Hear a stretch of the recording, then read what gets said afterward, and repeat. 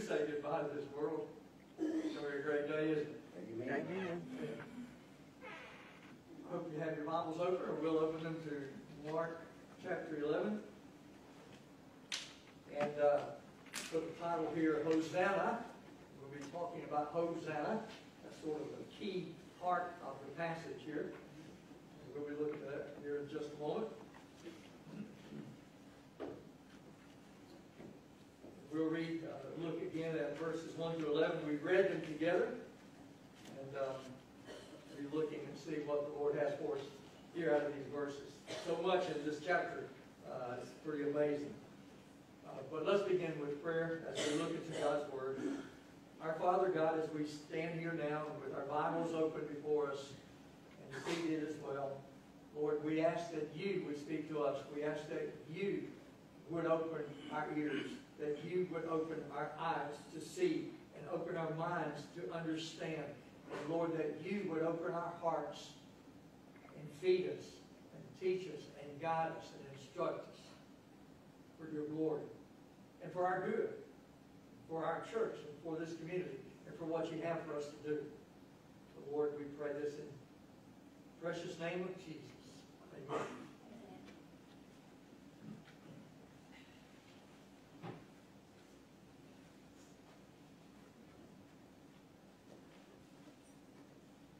And so, as we mentioned, Jesus is on the move going to Jerusalem.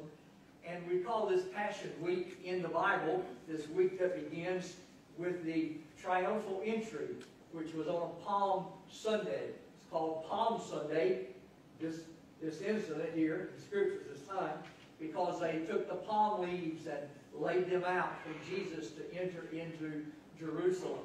And so Jesus was uh, coming in to continue to teach and preach and also to demonstrate different things. In this very chapter here in Mark 11, he goes into the temple and drives out those that were in the outer court of the area of the Gentiles, where they allowed Gentiles to come into that outer court. And they were buying and selling, and he drove them out. That happens uh, in this uh, chapter, but also in this passage. It surprised me going through the book of John, who gives the account of Jesus, that has 21 chapters, I think it is in John, that in chapter 12, Jesus enters Jerusalem. And so you've got chapters 12 all the way through 21, 21 uh, all about that last week that happened in the last week of Jesus. And so Jesus did a lot of teaching in these days, day after day after day. Lots of teaching, lots of miracles as well. So this is sort of the beginning of that journey that he took, uh, leading up to the last Passover that he would observe.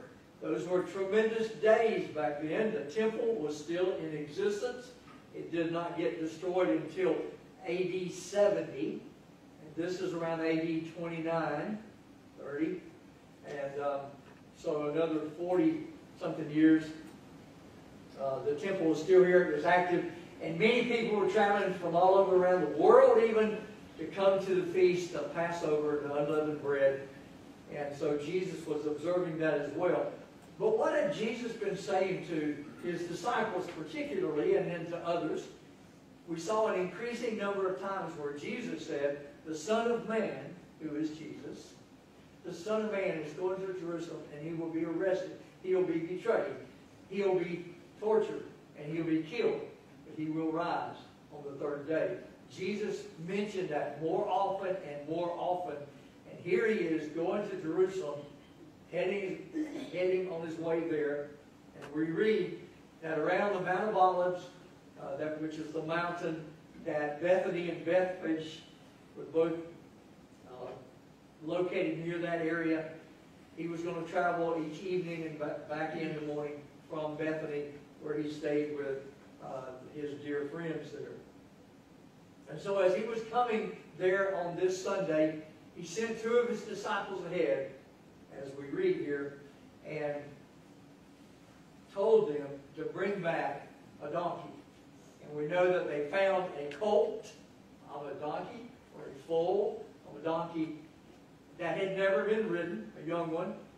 And just as he had told them they would, they find it They went, and those two disciples go. They do what Jesus said do. They unleash, untie him, get ready to go, and they said, wait, wait, where are you going with our, our donkey there? And they said, the master has use of him, and they let it go. So Jesus might have made some arrangements before, I don't know, but certainly uh, this was not such an unusual thing. Uh, maybe it was certainly unusual in his uh, just knowing what was going to happen here. But uh, that they untied the donkey, they said that he'll be back. I think he, you can read the story in Matthew, Mark, which we're reading, and Luke. And in one of those instances, they said that they implied they would be back soon with the donkey to return. So they went, they got the donkey, and here comes this donkey down the road, being led by two disciples. And Jesus and the other disciples and multitudes that were getting larger and larger crowds was, were following him. And so they come up to Jesus and they bring the donkey that he had sent for. Um, and so in verse 7, we see that they brought the colt to Jesus and threw their clothes on it. So there wasn't a saddle there. I don't know what kind of saddles they would have had anyway. But uh, the disciples took their outer coats, cloaks on, covered up the donkey and set Jesus, or helped Jesus get set up on this donkey, according to verse 7. So there were huge crowds here. Uh, many outsiders heading to Jerusalem. Maybe many had been to Jerusalem and had not found lodging. So they're going to the outer areas like Bethany and Bethphage and finding uh, places there as Jesus is coming in. When he's coming in, it's not morning time now, sort of later in the day. Because as we read, it started getting dark, and so Jesus led his disciples back out of the city, out of the gates to Jerusalem, and, uh, and back over to where they were staying.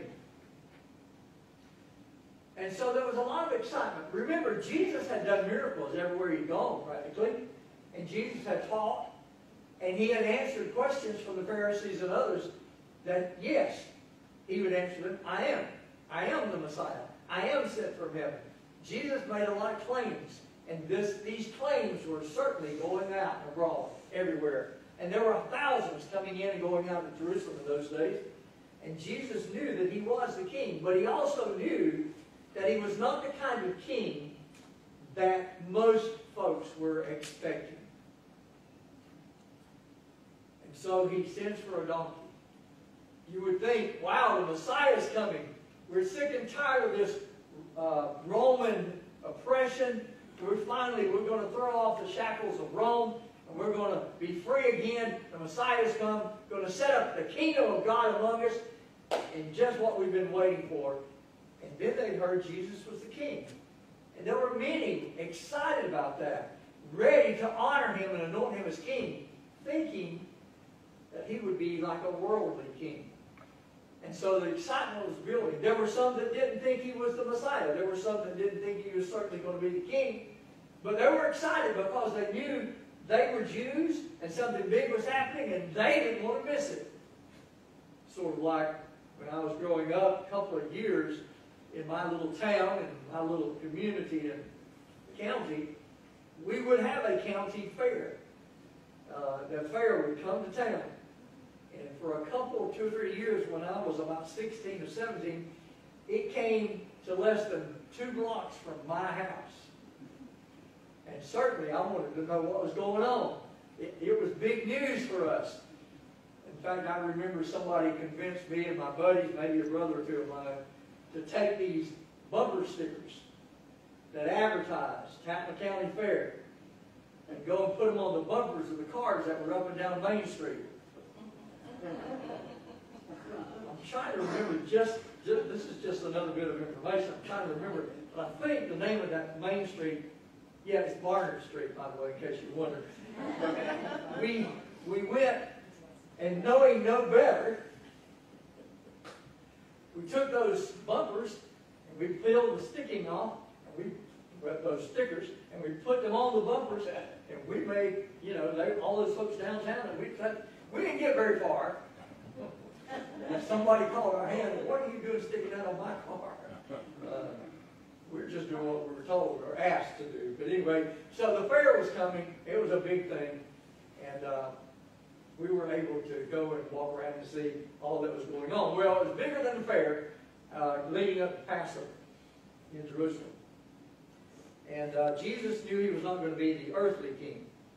And so he, as had been planned from the ages past, was going to fulfill, of course, many parts of the Old Testament. And in Zechariah, you might want to turn and look there, Zechariah 9, it talks about how the king is going to come riding into Jerusalem someday. And so let's look at that in Zechariah, Zechariah 9, verse 9 and 10. Rejoice greatly, O daughter of Zion. Zion had to do with Mount Zion, which was around Jerusalem there. O daughter of Zion, shout, O daughter, daughter of Jerusalem, behold, your king is coming to you. He is just and having salvation, lowly, and riding on the donkey, a colt, the foal of a donkey. My dad would say a donkey. Verse 10, I will cut off the chariot from Ephraim, and the horse from Jerusalem. The battle bow shall be cut off. He, this king, shall speak peace to the nations. His dominion shall be from sea to sea, and from the river, the Euphrates, river to the ends of the earth.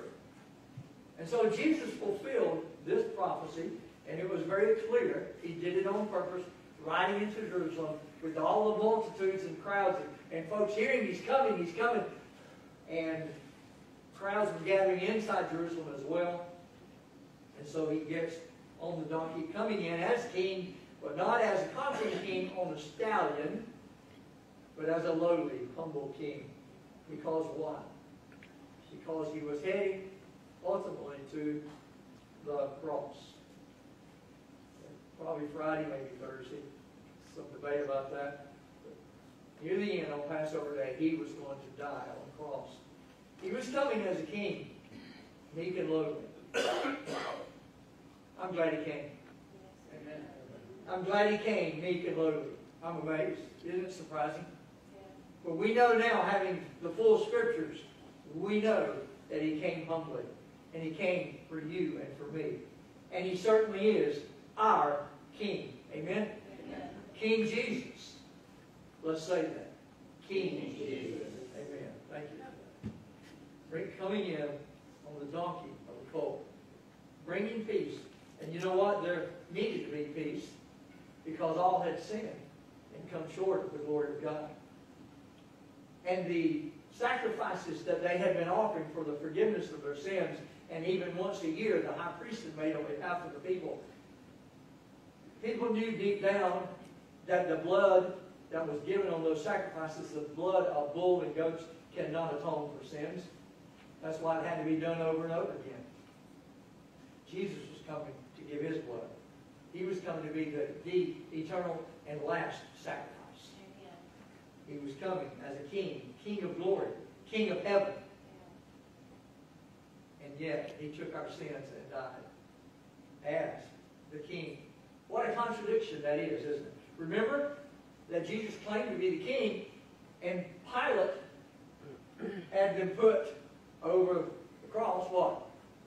King of the Jews. And the Pharisees said, no, don't change that to say, he said he was king of the Jews. He said, no, I've written what I'm going to write. It's written. He is king of the Jews. He didn't really mean that, and yet it was the truth, no less. So Jesus often quoted the Old Testament, and here he comes demonstrating the Old Testament riding on the colt of a donkey. Now look at uh, verse 8.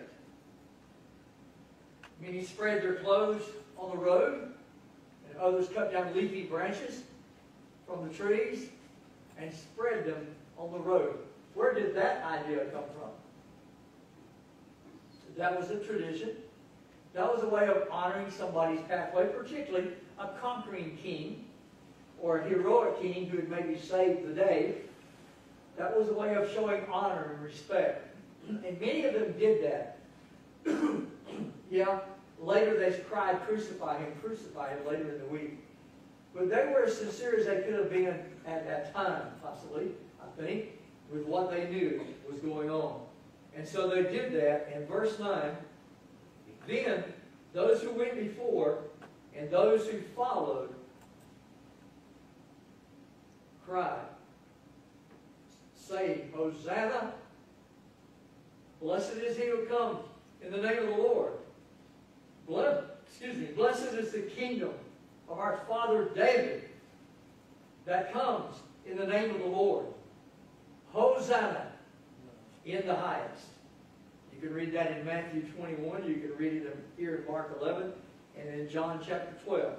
And they all mention this incident in the life of Jesus. And they all quote part of what was being said. Now, why were they saying these things? Because they were Jews. Because they had been taught the Old Testament. And there were prophecies about this. And most of this came from a chapter in Psalm, or one of the Psalm, that they used often. And it has many quotations in it. If you sit down this afternoon and read through Psalm 118, you'll find many familiar phrases in there that have been quoted even in the New Testament. And this is one of them. They were quoting things that they normally did to celebrate at festivals and at glorious occasions. And so they were celebrating, saying, Hosanna, Hosanna.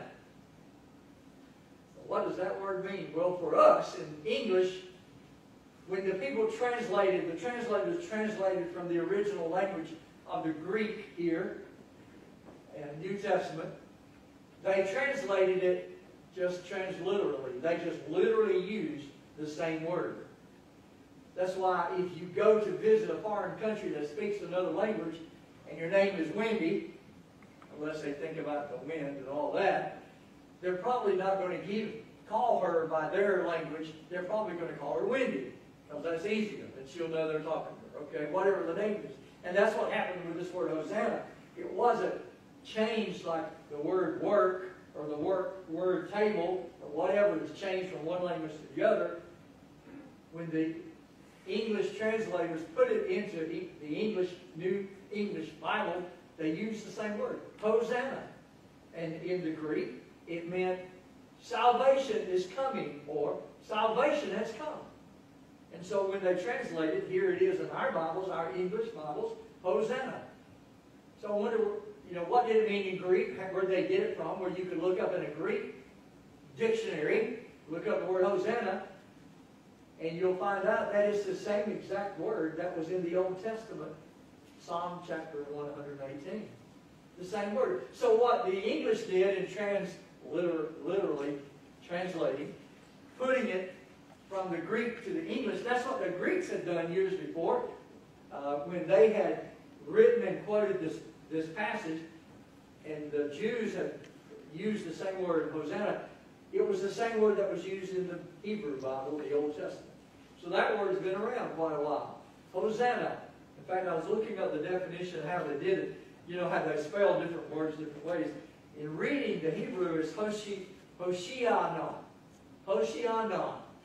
Hosanna, okay, however they do all that, I don't know how to pronounce Hebrew. But all of this comes from the, a lot of this main phrase comes from Psalm 118 in verse 25, where it says, Hosanna. And the word Hosanna has always meant, from the days of the Hebrews, salvation come. Send us salvation. Salvation is coming. In other words, in the future, we're going to be saved. And as the Greeks translated it then, it got translated from the people that used it in the New Testament. Jews, they used the word Hosanna. It slowly came to mean not that salvation is coming, but salvation has come. Because the Savior came. And so when you hear somebody saying, Hosanna, Hosanna in the highest, Hosanna to the King, the, the heir of the King of David, his kingdom, then they're talking about salvation coming. Save us. Now it is, we're saved. It's here. Our Savior has come. The, ark, the Calvary has arrived. You know, we're saved. We're rescued. What a glorious truth that is, amen? All lay in darkness, all men of sin, and Jesus came and on the cross, He bore all of our sins, they became His. And He died for every one of them, none of them split through. Praise the Lord. And He paid for them all, and rose again as the victor. And so, um, they were shouting, Hosanna, Hosanna. And they mentioned King David here because the prophecy was that the Messiah would come through the lineage of Judah and through the lineage particularly of David. And so they, many were excited. I don't know what the disciples fully believed. You know, they were, they were still not comprehending everything. They were trying, but they get this wrong and get that wrong. And maybe they were looking, maybe some of them thought, yeah, we're going to throw the Romans out of here and we're going to have a new kingdom set up, like God's always promised. And eternity is coming here and we're going to have heaven on earth forever and ever. Because the King, the Son of David, has come. Hosanna in the highest. Our Savior is here. Hosanna. Well, that was the cry. And when you read Matthew and when you read Luke, then you'll read that there were many, many children there gathered around, but also adults as well. And so the children were crying Hosanna. They, they were, how they know that? Because they did a good job in training their children up in the ways of the Lord. They were serious about teaching their children to know God, to know the truth of the Word of God. They memorized it. They taught their children to memorize it. You know, we've gotten far way away from that today, haven't we? God help us. May God help the families in our churches to reinstitute and get dedicated back to that and raise children up in the ways of the Lord. But many of them there, they knew it. They might not have known a lot of other things, but they knew Scripture. We went to uh, Uganda, went to this little school called King of Kings. You might find them on Facebook. King of Kings in Kampala, Uganda. They had a little school there, and those little kids packed in. I guess there were probably 120 in there, maybe something like that. And one of the little boys stood up because they were going to quote scripture for us. I thought this is going to be good. We sat down, and for at least 20 minutes, not exaggerating, they didn't have a ball game to hurry off to. You know, whatever. You know, they for at least 20 minutes. That little kid, he would say, Proverbs 3, 5, and 6. Trust him. Take off they don't do. As soon as they got through, he'd say, Genesis 1, 1 through 6. In the beginning, God. Scripture after scripture after scripture after scripture. These little kids lived in the slums. They lived where the overflow of the, the swampy area that when the heavy rains came in the hills of Kampala, it would wash everything down to this swampy area. Of, there were no sewage system in the whole city, okay? And so they lived down in that lower part of the swamp where the big old, big old pipes were that carried water back and forth and other things. Uh, they, they were down in the slums. What a beautiful sight it was to see those kids. Many of them from Muslim families. They were learning about our Jesus. They were learning the ways of God. They knew the scriptures. I believe they could say them all still today. King of Kings School. What a, what a blessing. And so as these people were praising the Lord, it was right for them to praise the King coming. It was right for them to say so. And the Bible tells us to let the redeemed say so. We who are the redeemed these days should say so. We should say it over and over again. Praise the Lord. I'm saved. Thank God for salvation. Thank God for the cross. Thank God for His mercy and grace, and His mercy endureth forever. Singing and speaking and praising God for the glorious truth that one day, when we're in heaven as Christians, as believers, we will be shouting it over and over again. We're going to be praising God for salvation in heaven. We're going to be praising Him for loving us in heaven. We're going to be praising Him for sacrificing and giving His only Son and gave Him up to suffer and die for us. We're going to be praising Him and thanking Him forever in heaven. Just read through Revelation. And look in chapter 5, and look in chapter 9, and look in many other chapters. where it says, and the multitude did this, and the 24 elders did this, and everybody that was there did this. They were praising God for that very thing. I believe he deserves the praise right here in Foreman Memorial Baptist Church. I believe he deserves it in your home, in your car, in your truck, in your neighborhood. He deserves our praise. Let the redeemed of the Lord say so.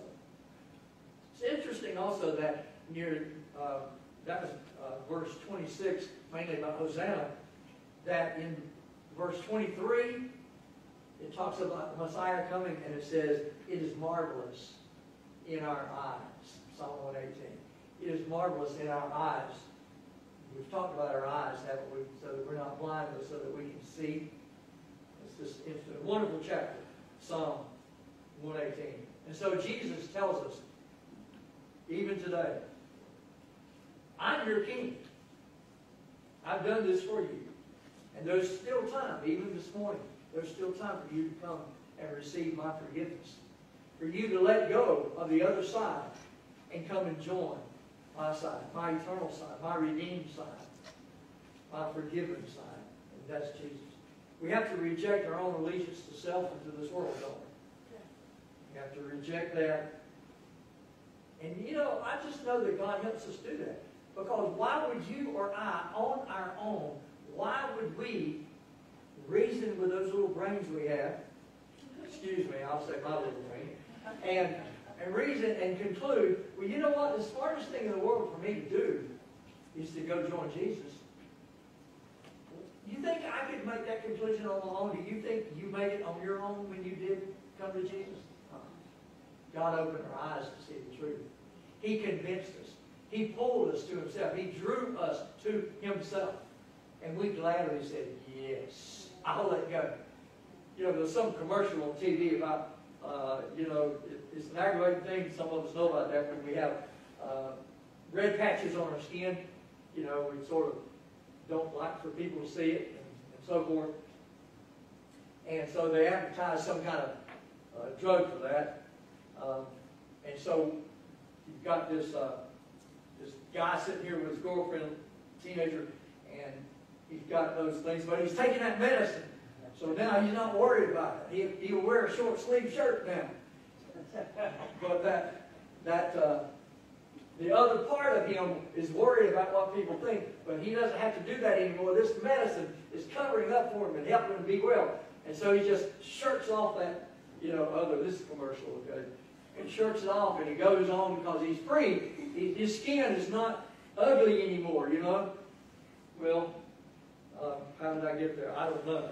Uh, but uh, we, we don't just conclude on our own that we're going to shirk off our old ways and shirk off living for ourselves and that we've concluded, we've come to our own conclusion that we're coming to Jesus. We've made the right decision, and we have.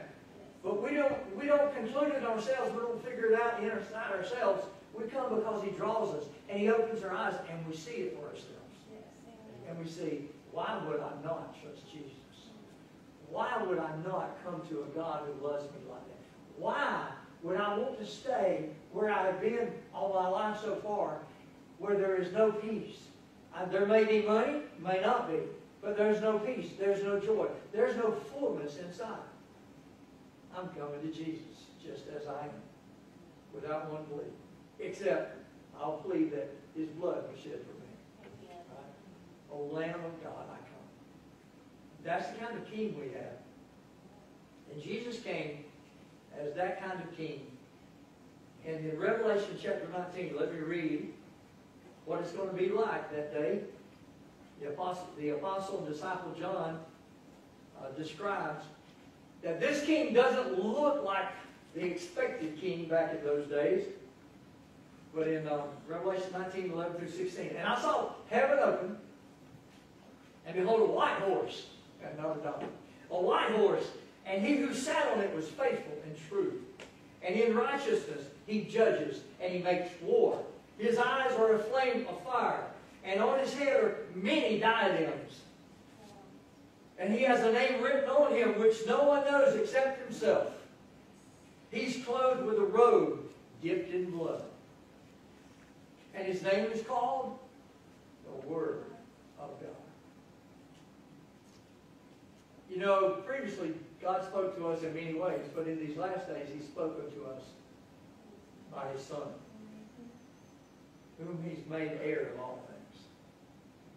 And even in heaven, He is known as the Word of God. And the armies which are in heaven, clothed in fine linen, white and clean, were following Him on white horses. From His mouth comes a sharp sword, so that with it He may strike the nations.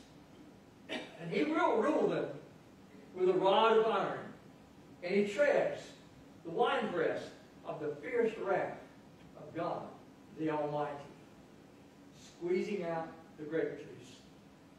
Jesus the King, pressing the fierce wrath of God on the enemies of God. And on his robe and on his thigh, he has a name written, King of Kings, King of Kings and Lord of Lords. He will be coming. Not as a king on a donkey, which he is the king of peace. I'm thankful for peace in my heart. And the peace that he brought to this world. But he will, he will come as a king. And when he appears in the skies, all will already be settled. It'll be too late to change sides. I'm glad that I belong to the Lord. You know, the Bible tells us to rejoice because now you are sons of God, sons and daughters of God. You, behold, now we are the children of God. And when we're saved, the Holy Spirit tells us in Romans 8, 16, He bears witness to us that we are the children of God. So when the King comes, the sides will have been decided. And behold, now is today is the acceptable time. As 2 Corinthians 6 says, today is the day of salvation. Where the King came to Jerusalem back in around 29 AD. The king came and he was honored, he was worshipped. He, they rejoiced in his coming. Some people said, You hear them say this about you? Why don't you correct them? And he said, No, no, I'm not going to correct them. If I was going to stop them, then those rocks would be crying out what they've been crying out. Because the truth about me is going to be known. Jesus had been sent to this earth to reveal the Father. And he said, everything I say and everything I do, I get it from the Father. And one of them asked him, well, what do we know about the Father? He said, oh, if you know me, you know the Father. As I've come to reveal him. And I'm the perfect expression of who the Father is. You want to know what God looks like? Look at me. Look at Jesus. You, you want to know what matters to God? Pay attention to what matters to me, Jesus said. He came and revealed the Father. And he rode into Jerusalem on that Palm Sunday, revealing the promise of the Father, the grace and mercy and love of the Father, who wanted to send salvation. And so it was right for them to say, Hosanna in the highest. Salvation has come. God has intervened. He has sent his only Son to us. What a glorious day that was. And then Jesus looked around. He got inside and he got to the temple. And he looked around, I think that is verse 11. And Jesus went into Jerusalem and into the temple. So when he looked around at all things, as the hour was already late, he went back out. He went out to Bethany with the twelve. And he will return the next morning, on Monday morning. But he has already come, he came to earth, and he will return someday. We have a glorious hope, don't we? in God. I trust that you know Him as your Savior and that you know that you know Him as your Savior. That's the most important thing to take care of, of all things in life. Let's be ambassadors. Let's witness. Let's testify. And when somebody comes to this church, may they see you loving on Jesus. May they see you worshiping Him.